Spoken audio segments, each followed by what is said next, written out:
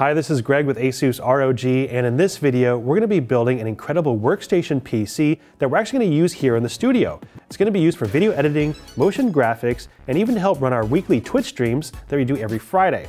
So if you haven't seen those yet, be sure to check them out. Now the first thing we'll do is go through each one of the components we're using in this build. I'll tell you a little bit about it and why we chose it.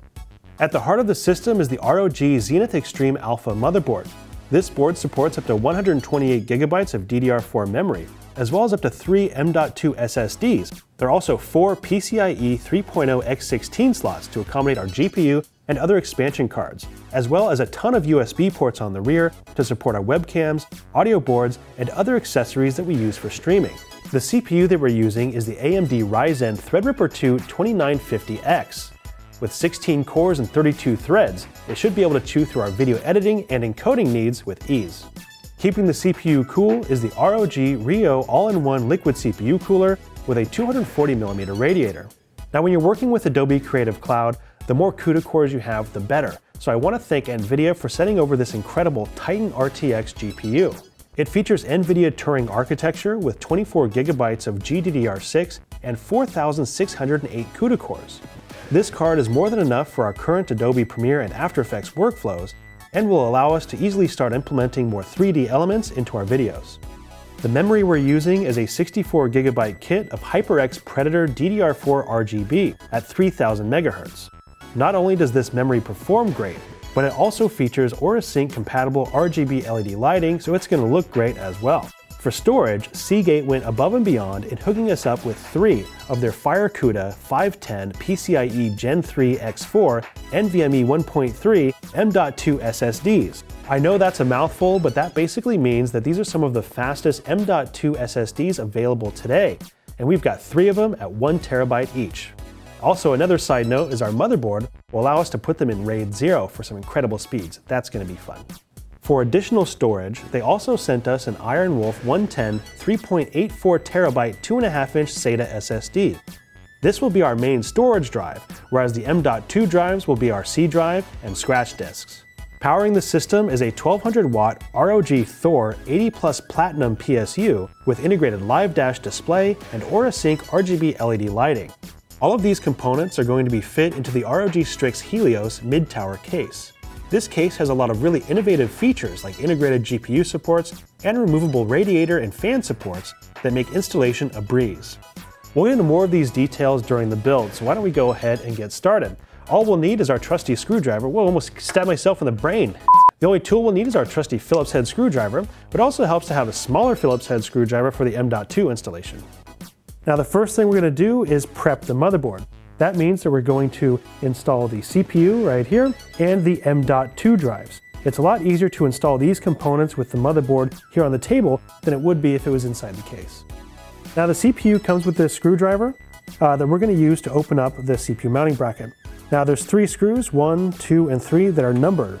And on here it tells you which ones to open first in what order. So to open, you do three, two, one. So let's go ahead and do that.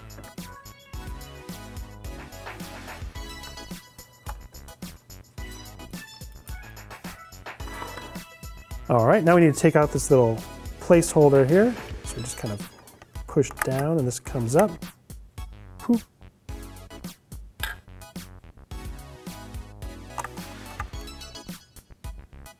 So I'll go ahead and open up the CPU out of its little case here. You see it comes with this little bracket on there. This just slides right into this bracket like the piece that we took out.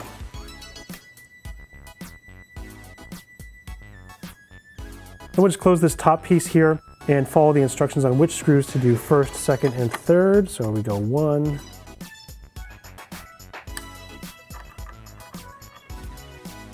So next we'll go ahead and install one of our M.2 drives. This will go right underneath this panel here. We just need to remove these four screws.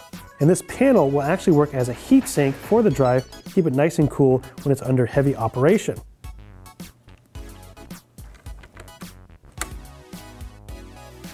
All right, so we'll remove this little piece here to reveal the M.2 slot. We're going to grab our M.2 drive, and uh, this is pretty straightforward. Just line up the notches on the drive here, insert at about a 45 degree angle, and then we'll push it down. Now, normally you would just put in a screw here to lock down the M.2, but that screw actually corresponds with uh, this hole in the little heat spreader here. Um, so we're gonna use that to lock it down. Now on the rear of this, there's actually a piece of thermal tape here that will help transfer the heat from the M.2 into this piece of aluminum to help keep everything nice and cool. So let's go ahead and do this. Okay.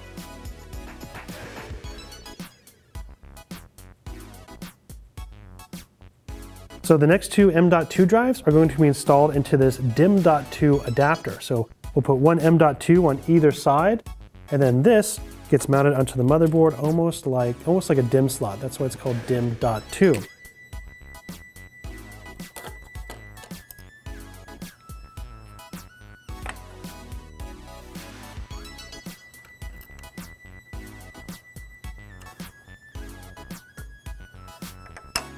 Now the motherboard comes with two of these little nuts and screws. We'll go ahead and open these up and these will be used for mounting the M.2s.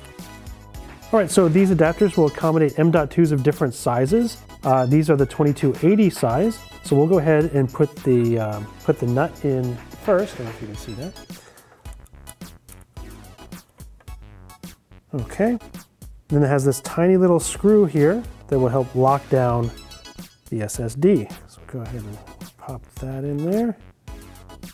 Goes down there. So one side is in.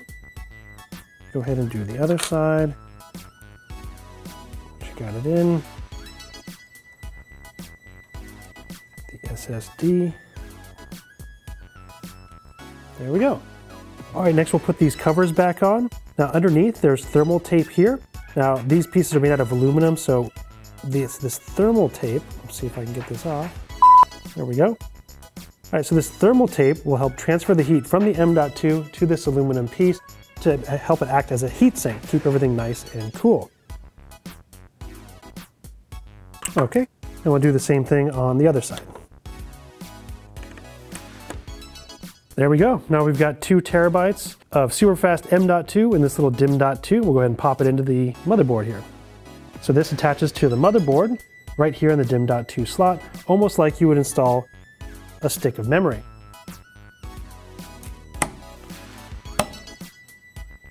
The next thing we're gonna do is go ahead and prep the case. Now, the case we're using is the ROG Strix Helios, as I mentioned before, and I actually really like it. Um, so how we prep the case is we're basically gonna remove all of the panels, front and back. We're gonna remove the um, PSU cover here and just basically get it ready for to accept all of the components. So let's go ahead and do that.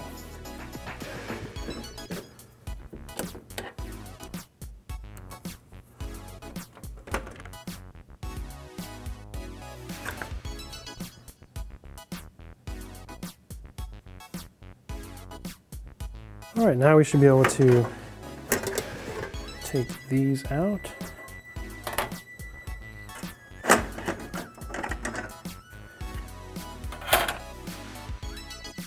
All right, we won't be using any three and a half inch hard drive, so let's go ahead and remove this hard drive cage. All right, next we'll go ahead and install the power supply. This goes in right like that.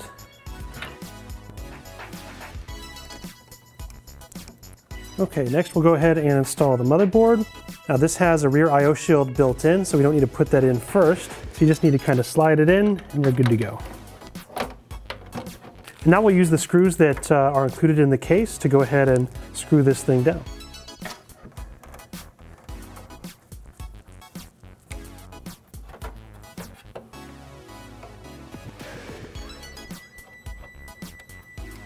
Now that we've got the motherboard installed, the next step is to install the ROG Ryuo 240 liquid CPU cooler. We're gonna mount the radiator up to the top here, but first let's go ahead and mount the fans to the radiator.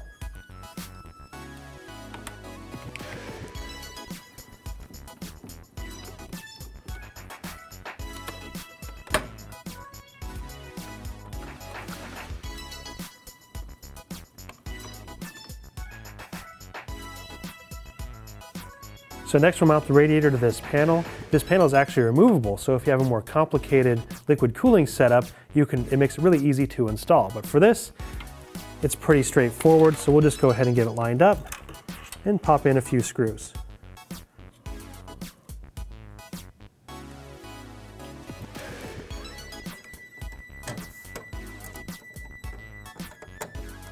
Next, we'll go ahead and install the pump and the cooling block onto the CPU. In order to do that, we need to use the bracket that comes with the Threadripper 2 because it's such a unique size. All right. Now, the Ryuo usually comes with thermal paste pre-applied, but we're reusing this from a previous build, so I'm gonna go ahead and apply some thermal paste on here right now. Now, there's a lot of different ways you can do this, and just look online, search thermal paste, and you'll find every way to do it under the sun. I like to just put a couple of small little lines about the size of grains of rice on there. There we go. Now you can use a credit card or any sort of flat object to help spread it around, but this thermal paste actually came with a little spread knife, so you can use this to help spread it around. And you just wanna get it nice and thin and spread it around before you kind of cinch it down onto the CPU. So now you can see we've got a nice even coat that's almost all the way to the edges. We can go ahead and mount it on the CPU. This bracket has thumb screws that make it really easy to attach. Once you get it lined up, just kind of start the screws with your fingers. So go ahead, you want to tighten them down diagonally first, get them so they're finger tight, and then once they're pretty finger tight, we'll give them one turn with the screwdriver. That's good.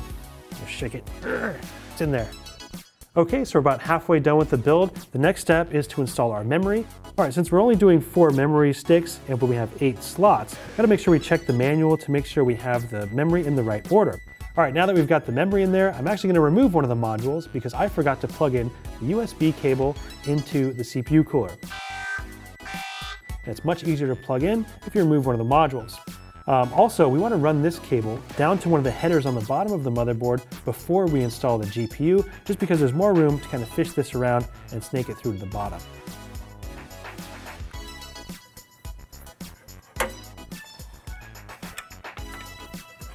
All right, next, we're gonna pop this bad boy in.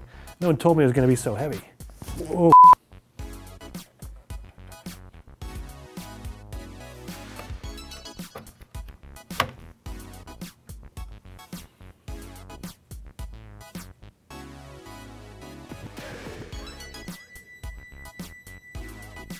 All right, next thing we'll install is the Elgato 4K 60 Pro capture card. Now this gives us an HDMI input and an output so we can capture our gameplay.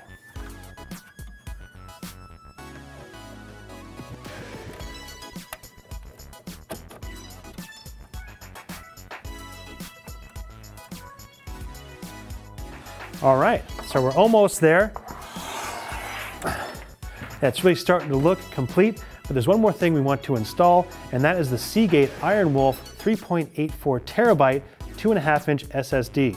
This thing is crazy. So on the rear of the case, we can install up to four two and a half inch SSDs, but with 3.84 terabytes, we're only gonna need one. So let's go ahead and install it right here. First, remove this little mounting bracket.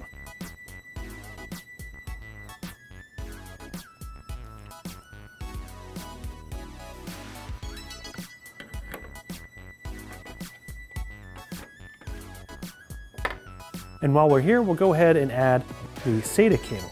The motherboard actually comes with these really nice braided SATA cables uh, that we can use for this build. All right, so we've got all of our components installed in the case, and now it's time to wire everything up.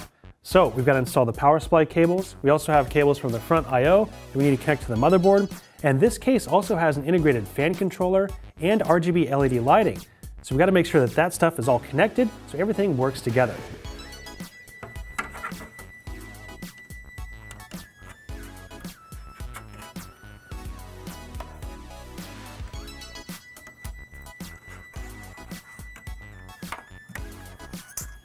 And then this little guy that comes with the power supply is for the RGB lighting on these logos here. So we'll go ahead and plug that in.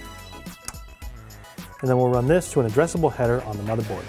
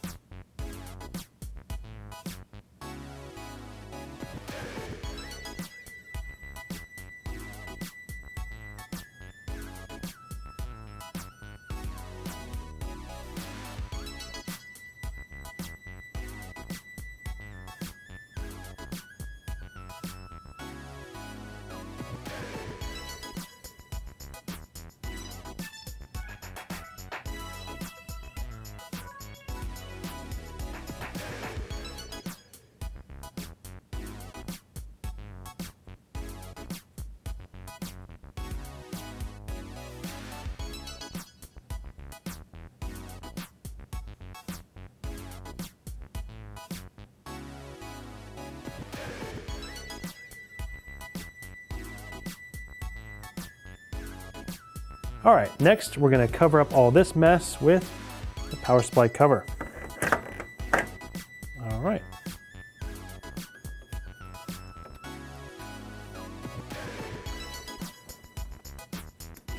Okay.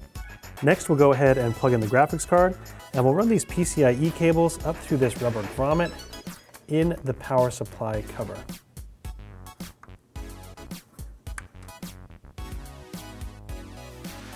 All right, I actually have two more of these cable combs that come with the Thor PSU. They're actually made by CableMod. I'm gonna go ahead and pop these in here to make sure everything stays nice and tidy. And there's two.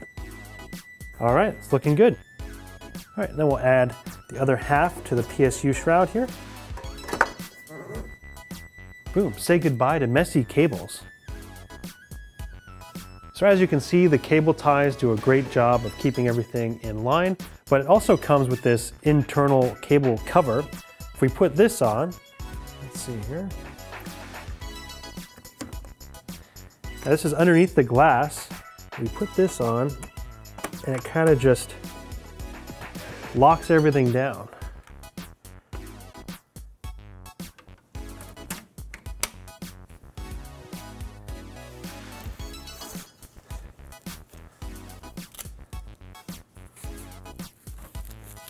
There we go.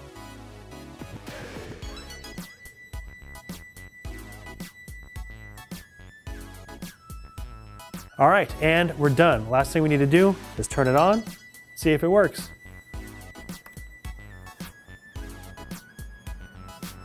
All right. Looks like we're good to go. I want to thank you guys very much for watching. If you enjoyed this video, please give us a thumbs up, a like, or a follow. Oh wait, there's actually one more thing we got to do.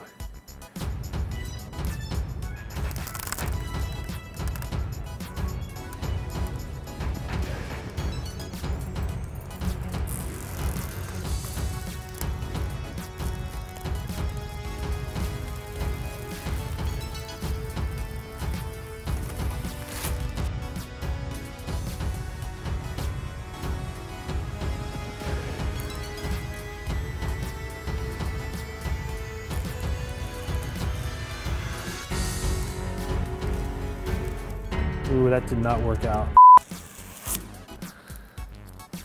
All right. Well, thanks for watching. All right, now it's really ready to go. I can't wait to get this thing into our post-production workflow and to start using it to encode our weekly streams. It's gonna be awesome. So I wanna give a big thank you to all our partners that sent us hardware to make this thing possible. So that's HyperX with the memory, Seagate with the storage, AMD with the Threadripper 2, and of course, NVIDIA with the incredible Titan RTX. That's just insane. So I want to thank you guys at home very much for watching. Please like, comment, and subscribe for more content from ASUS and ROG. We'll see you next time.